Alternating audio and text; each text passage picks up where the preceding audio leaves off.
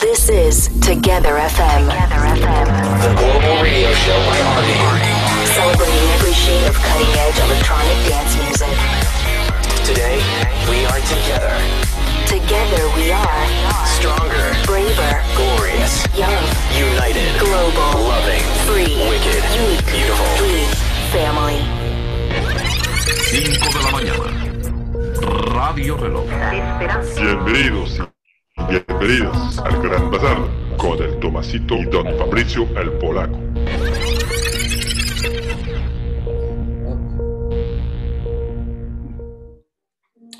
Bonjour à tous. Nous sommes heureux d'accueillir Mathieu Mouillet aujourd'hui, que l'on appelle depuis Rome. Et lui, c'est un événement international. Alors, on a invité euh, Matt, Mathieu parce qu'il il nous manquait un représentant d'un truc à la mode. Euh, il y a un peu deux trucs à la mode en ce moment, c'est la micro-aventure et bien sûr le slow travel. Euh, vu qu'on a la chance d'avoir un auteur, un écrivain français, euh, parlons plutôt du, euh, voyage euh, à dos de lama. Voilà, au lieu de voyager au rythme, au rythme du TGV, voyageons un peu au rythme du lama. Euh, et donc, euh, bienvenue à Mathieu Mouillet qui vient de sortir un bouquin qui s'appelle euh, La diagonale du vide. Il va nous raconter ça. Livre, voilà, si, si Mathieu nous dit des choses intéressantes, je vous invite à acheter son bouquin sur son blog ou dans toutes les librairies bien spécialisées. Bonjour Mathieu, la parole est à toi. Bonjour Fabrice, enfin rebonjour, bonjour tout le monde. Euh, alors donc, euh, je vais vous raconter euh, un voyage que j'ai réalisé il y a un petit peu plus de 4 ans déjà, à l'époque où le slow travel était, slow, travel n'était pas encore aussi à la mode qu'aujourd'hui. Un voyage en France d'un an et demi à travers euh, un itinéraire qui s'appelle euh, la diagonale du vide. Euh, la diagonale du vide, en fait, c'est euh, un itinéraire qui traverse la France des Ardennes au Pays Basque et, euh, et qui traverse en fait les endroits surtout les moins peuplés de France. Euh, alors, euh, je sais pas, je pense que vous voyez mon écran, j'espère. Sinon, je vais cliquer. Tu peux partager ton écran. Ouais, ok, c'est ça. Et donc, le voici. Donc voilà, il faut tout tirer de la diagonale du vide.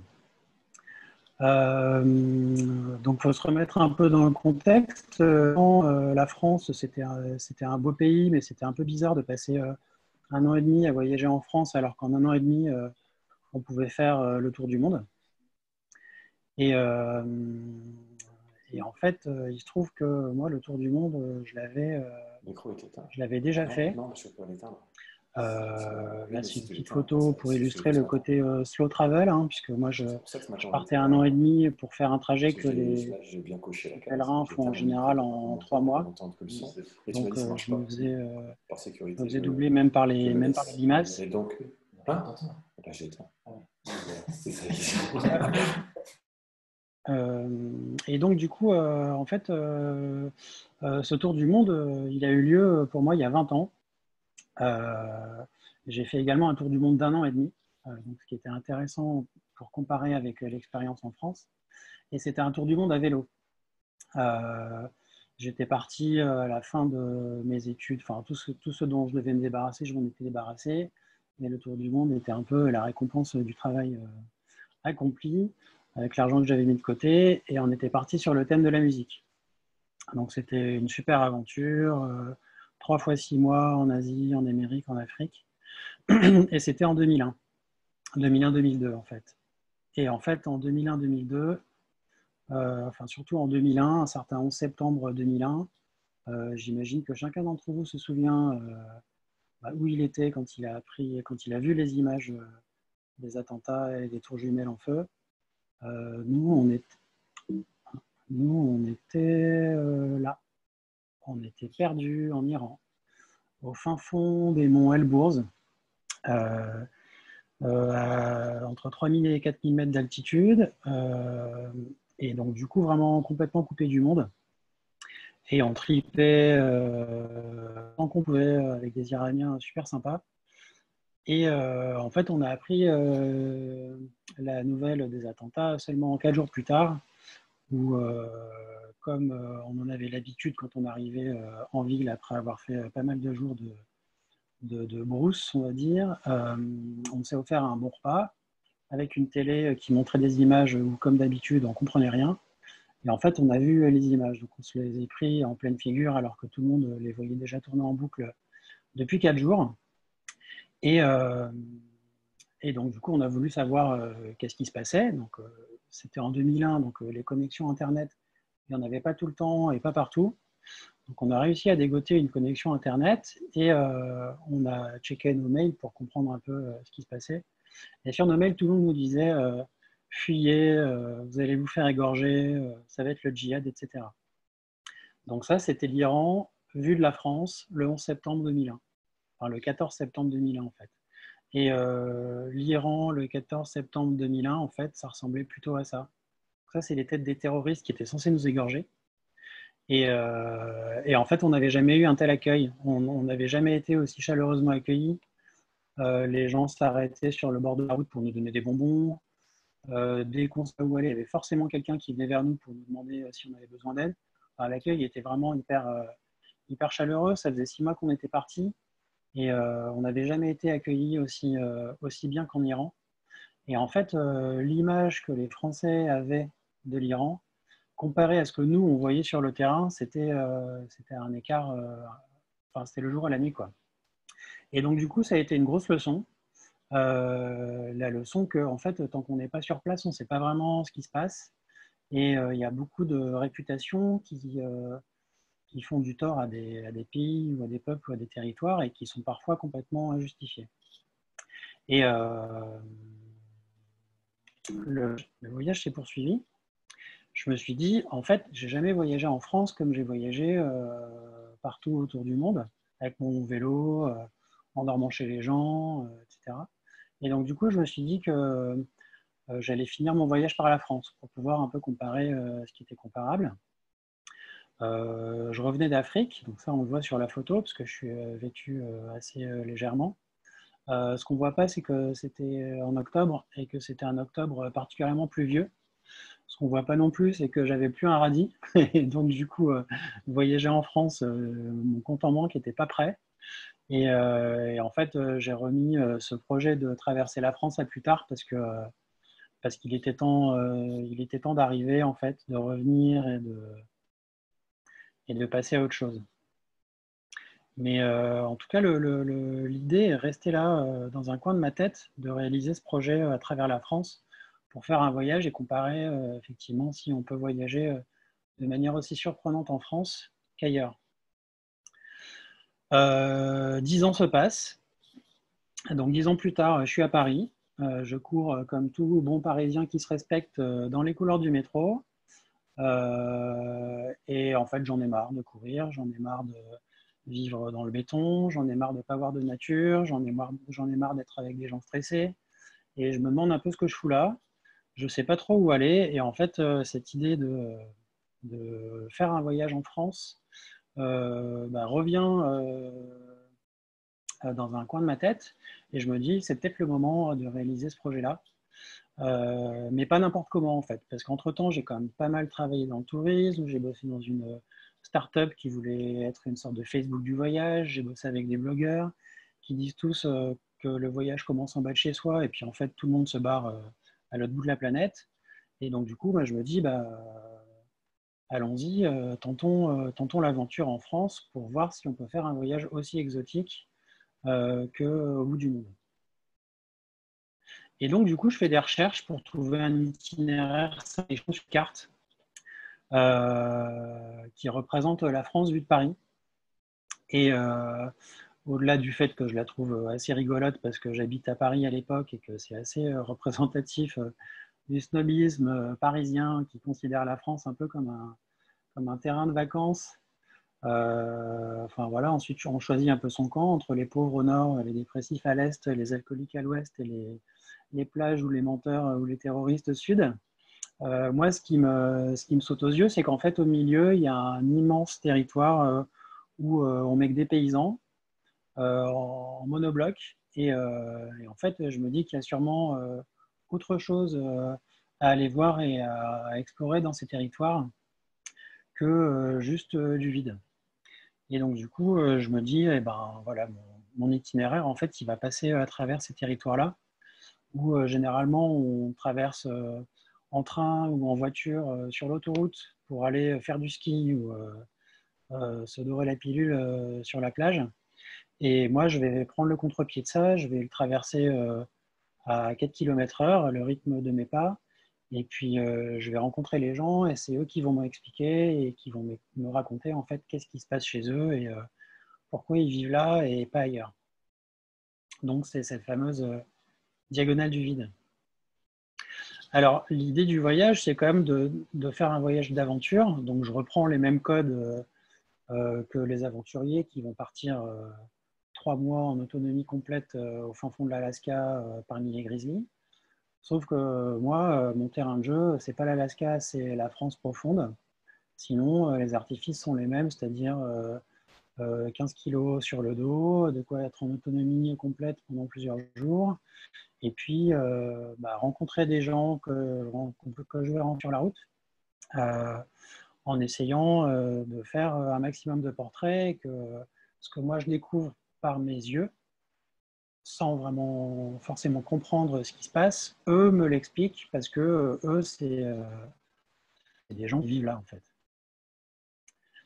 Donc du coup, l'idée c'est également d'aller lentement. Donc moi je suis parti à pied, donc un an et demi au départ, je partais pour un an. Et puis, ça a pris un an et demi parce que j'avais oublié que j'allais passer du temps chez les gens. Et au final, j'ai passé six mois euh, chez les gens pour faire leur portrait. Je vous en montrerai un, euh, exemple tout à l'heure, si on a le temps. Euh, et donc, du coup, à pied, et puis un petit peu en vélo à la fin parce que, bah parce que j'étais pas parti pour passer deux hivers sur la route. Et donc, du coup, l'objectif, c'était d'arriver avant le deuxième hiver. Et, et du coup, le vélo m'a permis de, rester euh, sur des chemins de traverse tout en allant un petit peu plus vite qu'à pied, ou euh, à pied on fait plutôt 15 km par jour, enfin moi en tout cas, euh, alors qu'à vélo on fait 60 km sans trop se fouler. Quoi. Donc là, vous avez une idée du parcours que j'ai suivi. Je ne sais pas si vous voyez ma petite souris. Je suis parti des Ardennes, de Givet, parce que j'y vais pour commencer un voyage, je trouvais ça pas mal.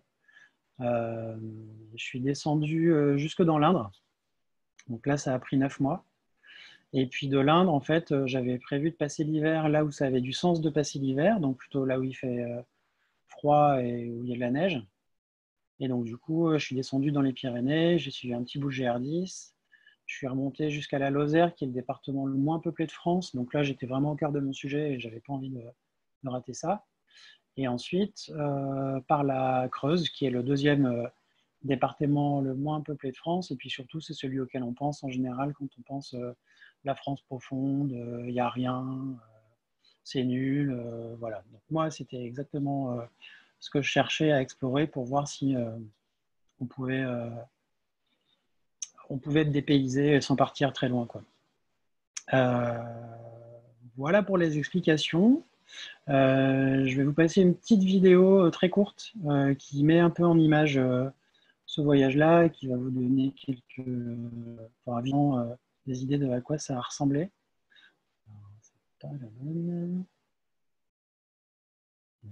J'espère que vous voyez toujours mon écran, mais normalement, il n'y a pas de raison. Et j'espère que le son va marcher aussi. Peut-on faire un voyage exotique en France? J'ai tenté l'aventure en marchant 18 mois le long de la diagonale du vide, des Ardennes au Pays Basque. J'ai suivi cet itinéraire imaginaire qui relie les départements les moins peuplés de France. J'ai découvert une campagne où il fait encore bon vivre et j'ai rencontré ceux qui entretiennent une relation particulière avec leur territoire. Pourquoi est-ce que pour eux, la vie c'est ici? Si le monde n'est pas tel que l'on veut, pourquoi pas essayer de le changer un peu, tu vois, au niveau local, tu vois. Est-ce que l'innovation sociétale ne viendra pas de la ruralité? Enfin, On peut se poser des questions comme ça aussi. Tous les jours, on crée, on bâtit, et la vie, c'est ça. Du portrait robot d'une France des oubliés, j'ai rencontré des personnalités atypiques, au parcours passionnant et qui faisaient face aux problèmes sans baisser les bras. Mon livre raconte un voyage dans cette France fière et enthousiaste. Elle vous donnera peut-être l'envie de découvrir, hors des sentiers battus, le On ne voit pas la vidéo, Mathieu? On voit pas la vidéo? Non, on voit pas la vidéo. On n'a que le son. Ah ok. Eh ben, Oui, euh, tu, ben, désolé. euh, tu de, tu as pas choisi la bonne. euh, alors, arrête ton partage d'écran. Ok. Voilà, tu repartages ton, ton écran et tu choisis euh, euh, la fenêtre où il y a ta vidéo. Ah ok. Euh, tac. Oui, et je suis désolé, c'est parce que j'ai cru que tu lançais un truc sonore plus que la vidéo, mais tu l'as Ah, dit tout à l'heure. Voilà. C'est pas vrai, c'est que tu manges un pain au chocolat. Bon, et ben. euh, Bah voilà, ça marche. Ouais. Go, merci Thibaut. Peut-on faire un voyage exotique en France? J'ai tenté l'aventure en marchant 18 mois le long de la diagonale du vide, des Ardennes au Pays Basque. J'ai suivi cet itinéraire imaginaire qui relie les départements les moins peuplés de France. J'ai découvert une campagne où il fait encore bon vivre et j'ai rencontré ceux qui entretiennent une relation particulière avec Pourquoi est-ce que pour eux, la vie c'est ici? Si le monde n'est pas tel que l'on veut, pourquoi pas essayer de le changer un peu, vois, au niveau local. Est-ce que l'innovation sociétale ne viendra pas de la ruralité? Enfin, On peut se poser des questions comme ça aussi. Tous les jours, on crée, on bâtit et la vie, c'est ça. Du portrait robot d'une France des oubliés, j'ai rencontré des personnalités atypiques, au parcours passionnant et qui faisaient face aux problèmes sans baisser les bras. Mon livre raconte un voyage dans cette France fière et enthousiaste. Elle vous donnera peut-être l'envie de découvrir, hors des sentiers battus, le plus beau pays du monde. Ok. Je, du coup, j'arrête de, repart- de partager et je reviens sur. euh, Voilà, tu as appuyé sur le bouton euh, arrêter le partage. Voilà, c'est très bien. Ok, partager écran.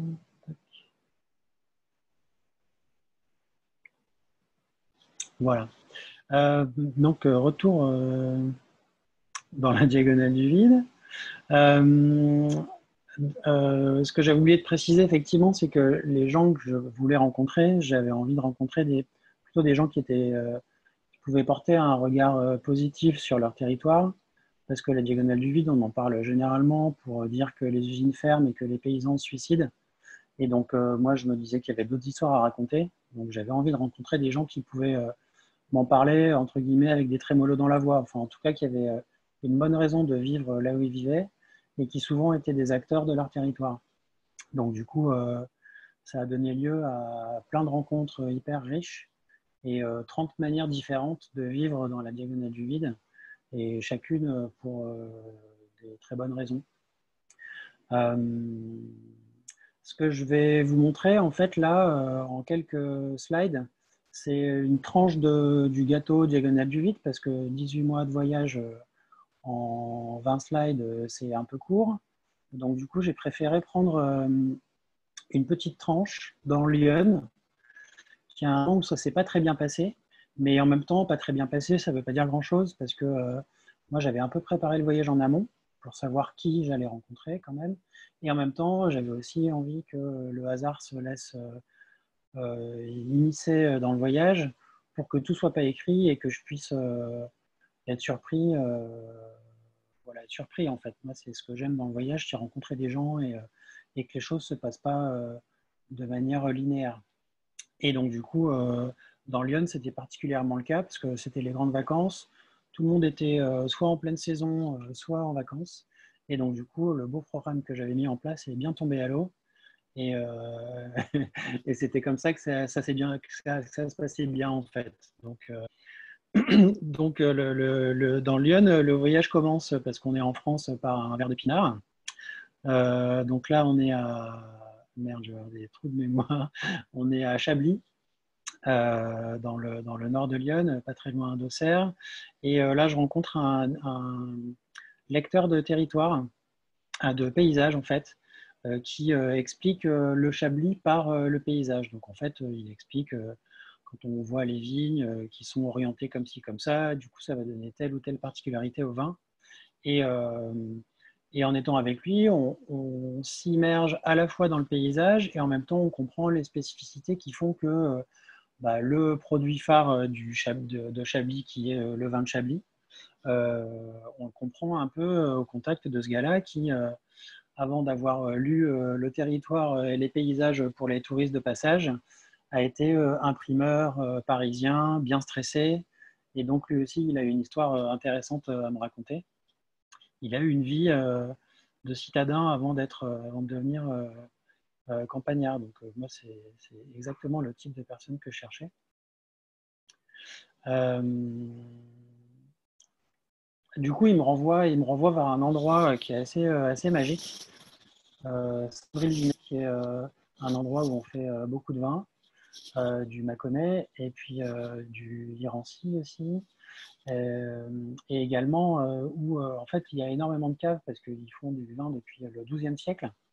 Et donc du coup tout le village a son, équivalent en caves souterraines qui communiquent les unes avec les autres. Donc en fait on fait, on fait quelques, mètres euh, euh, d'escalier pour descendre dans les caves et on se retrouve au XIIe siècle. Donc il y a un côté complètement, euh, magique euh, là-dedans. Euh, qui dit euh, bien boire euh, dit bien manger. Donc euh, je continue euh, la visite gastronomique euh, par un bon resto euh, étoilé, euh, une étoile, je crois qu'on me recommande, euh, qui se trouve à quelques kilomètres de là. Je mange le gratin de pâtes, euh, le meilleur de ma vie, et je me dis qu'il faut que je déguste euh, le menu dégustation. Donc euh, c'est ce que je fais. Euh, je passe la nuit dans le champ du cuisinier qui, vit sur place. Et du coup, j'ai le temps de discuter avec lui. Et en fait, le lendemain, au service, un ami est à table, un ami à lui est à table. Et il se trouve que le gars, en l'occurrence, a des parts dans une entreprise qui s'appelle France Montgolfière. Et, euh, et du coup, je suis euh, cordialement invité à faire un, euh, vol en montgolfière du côté de Vézelay. Donc, ce qui fut dit fut fait. Euh, lever de soleil sur Vézelay et Saint-Père, assez magique, depuis la nacelle de la montgolfière. Et puis, bah, du coup, je rencontre le pilote de la montgolfière. Il se trouve que c'est un, un Brésilien euh, qui est venu euh, travailler en France, euh, pilote de ligne, et puis qui, un jour, pas fait comme un autre, a changé de vie et, a décidé de passer à la montgolfière. Donc du coup, bah, j'en profite pour faire son portrait parce que c'était une rencontre assez, étonnante et pas trop prévue près des Brésiliens au fin fond les diagonales du vide. Le voyage se poursuit. Je dors dans une grotte, euh, une ancienne carrière de pierre, là pour le coup dont j'avais le contact, donc il m'attendait. Euh, une ancienne carrière de pierre en fait qui a été euh, reprise par un entrepreneur, un ancien gars de- d'escalade, escaladeur, je sais pas comment on dit le terme technique, et qui a transformé la carrière en fait en un parcours d'escalade, et puis qui organise également des, des séminaires, des concerts, enfin un lieu vraiment atypique euh, et assez, euh, assez étonnant.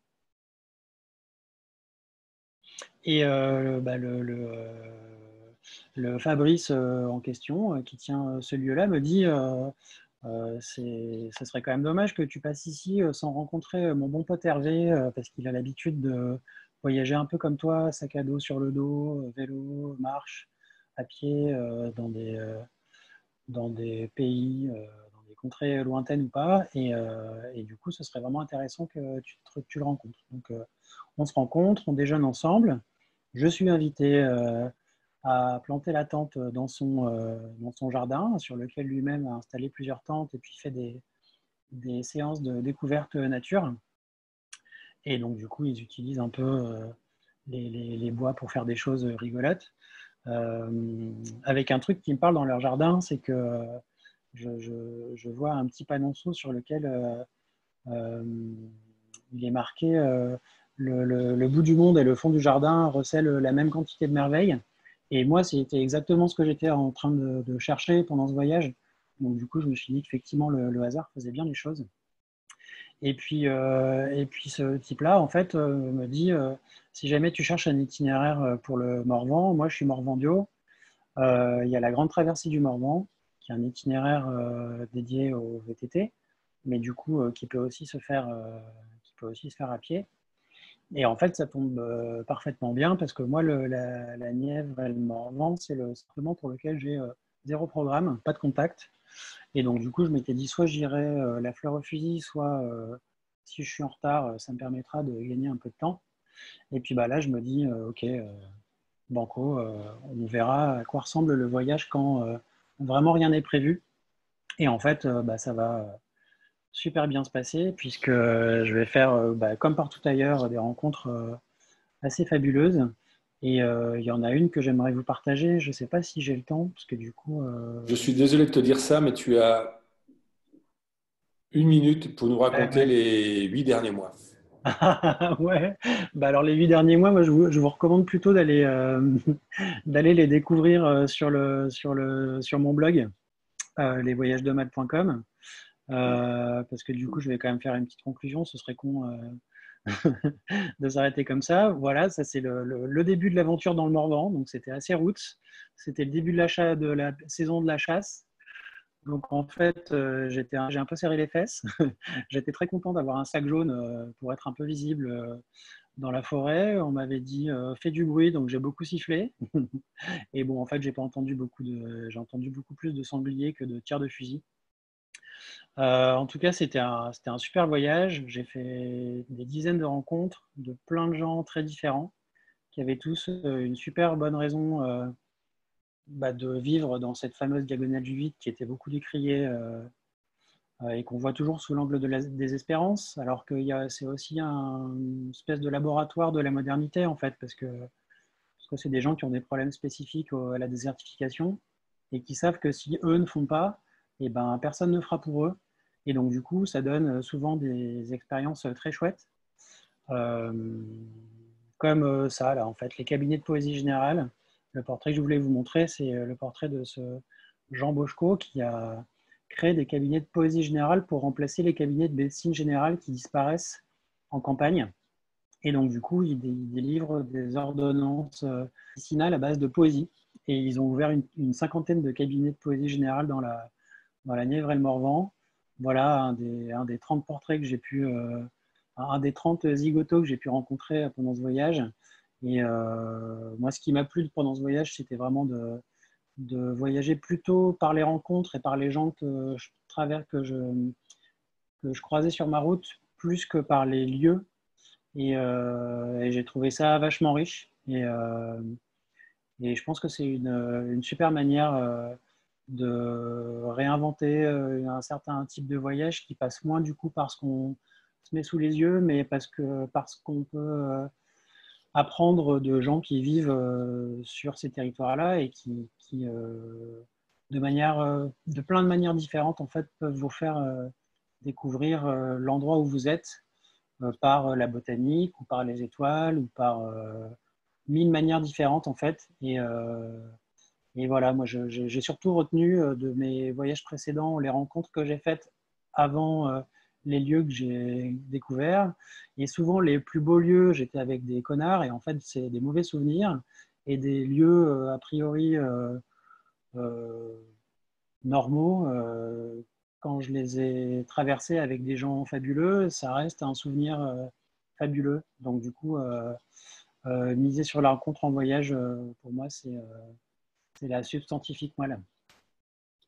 Voilà. Merci, merci, merci beaucoup Mathieu. Euh, je pense que peut-être qu'il y a des auditeurs qui t'appelleront pour. euh, il y a des podcasteurs, etc. Et il y a plein de choses encore à dire, à faire. On ne peut pas. Je vous propose à tous de, de, bah, de quitter Mathieu et euh, d'aller respirer un bon coup avant d'attaquer la prochaine conférence. Bonne suite. Merci Mathieu. Au revoir.